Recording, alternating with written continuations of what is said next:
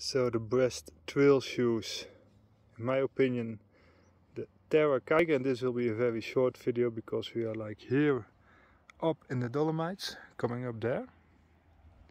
But those are just so great. Lots of grip. And now we have the, I don't know which number this is, the new Terra Kiger.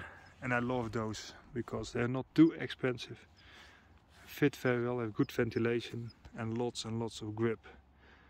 And also have the Pegasus for running. Those are also affordable. But now we're gonna continue this nice path up there. So, very short, hope you like it. And we're gonna continue. Thank you and bye.